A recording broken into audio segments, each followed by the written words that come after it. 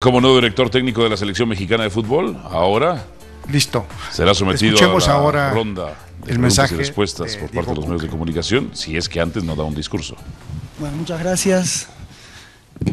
Eh, gracias Rodrigo, gracias Jaime por, por las palabras, por confiar. Realmente lo que quiero manifestar son varias cosas. Primero, cómo me siento. Realmente me siento feliz, me siento orgulloso, me siento un privilegiado de poder ser el técnico de la Selección Nacional de México. Para mí no es cualquier cosa, para mí es algo muy importante no solo por ser el seleccionador, sino por, por ser el, seleccio- el seleccionador de este país que a mí me ha dado muchísimo. Como mostraba un poco el video, yo he venido de jugador hace más de 20 años y me, va, me ha, abierto, me ha abierto, abierto las puertas, me ha hecho crecer como persona y, como profesional y también me volvió a recibir como técnico y me ha dado muchísimo en lo profesional y sobre todo en lo humano, al cual le estoy muy agradecido. Y para mí y mi forma de pensar y de sentir, tener la posibilidad de ayudar desde este lugar a México para hacer crecer a su selección es un privilegio y una posibilidad que no podía dejar pasar. Quisiera agradecer, lógicamente, como, como dije recién, a, a Rodrigo y a Jaime, porque hemos tenido unas pláticas muy interesantes, la cual me he sentido muy cómodo, pero que también ellos estaban buscando realmente lo mejor para la selección. De ese paso conocí a, a la comisión también y me ha pasado lo mismo. He hablado con todos, hemos durado un montón de horas hablando y sentí que todos estábamos buscando lo mismo, lo mejor para la selección nacional. Me siento elegido, que para mí tampoco es poca cosa, sino es algo muy importante, que me hayan elegido para ser el técnico de la selección. Creo que es el primer paso para el éxito que tanto la directiva como es en los clubes y el técnico sientan que pueden hacer un gran trabajo y que estén de acuerdo.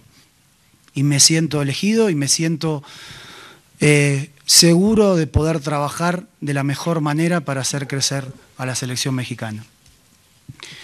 Quiero agradecer a la gente de Tigres, a su directiva, a, a la gente de Cemex, a la gente de la universidad, a los jugadores, a su afición. Agradecido por, por, por darme la posibilidad de trabajo.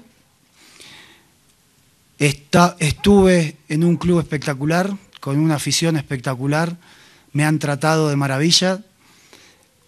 A los jugadores que también no tengo más que palabras de agradecimiento de todo lo que he vivido en estos dos meses y poquito y de todo lo que me llevo.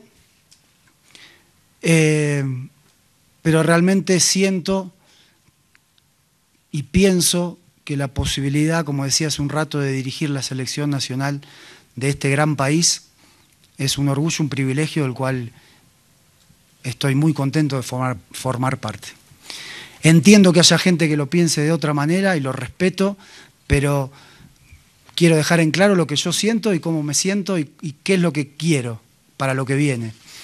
Y realmente quiero tener jugadores que se pongan la playera del país y que canten el himno y se sientan orgullosos y privilegiados de estar en el lugar donde están.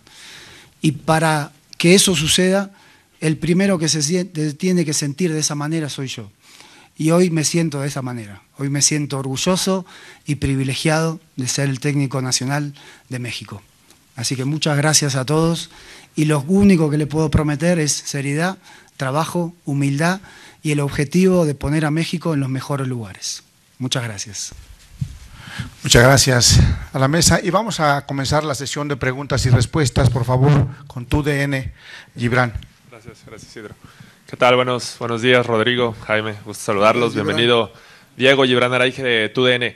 Eh, Diego, normalmente eh, estamos aquí en una presentación de un técnico y de la selección mexicana y siempre hablamos casi del quinto partido y de los sueños de la selección, pero hoy la realidad es que México dio un paso hacia atrás en la última Copa del Mundo, ¿no? No llegó a la fase de grupo, a, la fase de eliminar.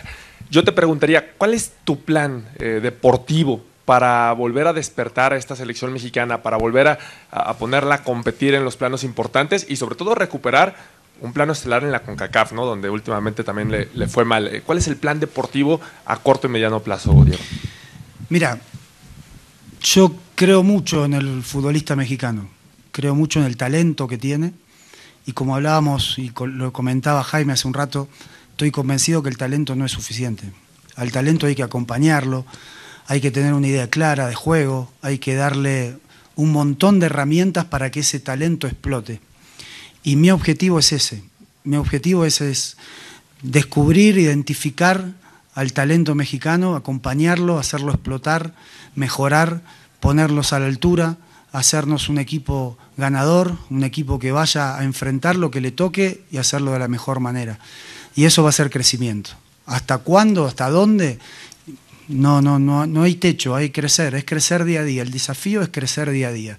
Con la complicidad, la complejidad, perdón, de ser un, entrenador de una selección que no tiene a los jugadores en el día a día.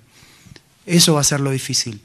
Pero no tengo duda que lo vamos a lograr porque tenemos muchísimas ganas de trabajar. Hay un, un lugar espectacular, hay muchísima gente que trabaja en la selección que tiene mucha capacidad y nosotros como decía hace un rato, prometemos muchísimo trabajo con ese objetivo. El objetivo es crecer día a día, mejorar día a día. Tenemos, si Dios quiere, de dos años y medio para, para poder trabajar, es mucho tiempo, para llegar a un mundial, pero si pensamos nada más que en el mundial, nos vamos a tropezar con la primera piedra. Así que es el hoy, es el objetivo que viene. Eh, el mensaje es ese, de que los jugadores que vengan que se comprometen al 100% porque van a encontrar un cuerpo técnico que así está así desde el primer día. Bien, David, gracias. TV Azteca, por favor. Gracias, Isidro. Una pregunta para Rodrigo y otra para, para Diego. Rodrigo, eh, tomando en cuenta que los cinco candidatos que, entrevistaron reúnen los, los, requisitos que tú mencionaste que eran, que eran básicos, ¿hasta dónde el conocimiento que dos miembros del comité tenían con Diego por haber trabajado con él fue el factor que inclinó la balanza, el hecho de que el señor Iraragorri y el señor Hank hayan ya trabajado con Diego, fue el factor eh, preponderante para que Diego fuera el elegido? Yo creo que no. Yo creo que, que las entrevistas fueron muy transparentes y que los cinco miembros de los equipos más el presidente de la federación, que es miembro del comité, vieron en Diego es esta parte de cómo vamos a explotar el talento mexicano, cómo vamos a pensar que el talento no es suficiente si no se trabajan muchas otras cosas. Creo que, que Diego fue transparente, creo que su plan de trabajo y lo que propuso les gustó a todos los miembros y que estamos viendo eso, un techo, no nos queremos quitar eh, en selecciones el tema del quinto partido. O sea, me parece, lo platicaba con Diego y con Jaime, eh, en este caso ya va a ser sexto partido, porque para llegar a cuartos de final, y, platicamos el tema de, ¿y qué pedimos el charter y nos regresamos a México si llegamos a cuartos de final? Pues no, tenemos que pensar en, antes de empezar el, el Mundial, en lo más grande, y eso fue lo que platicamos con Diego. Pero además tenemos una ventaja eh, y una ventaja enorme en este proceso. La primera es que regresamos a la Copa América. El fútbol mexicano necesita competencia de alto nivel y la posibilidad de jugar la Copa América nos ayuda, nos ayuda en crecer, nos ayuda no, en tener una competencia en donde hay 10 equipos de Sudamérica de muy alto nivel y nos ayuda. Y también nos va a ayudar que un año antes del Mundial, al parecer va a haber una competencia, no sabemos cómo se va a llamar, ni quién la va a organizar, pero de 16 elecciones, entonces vamos a ir paso a paso. Empezamos, todos los veranos vamos a tener una competencia buena, tenemos Copa Oro, luego tenemos Copa América y luego tenemos este, esta Copa.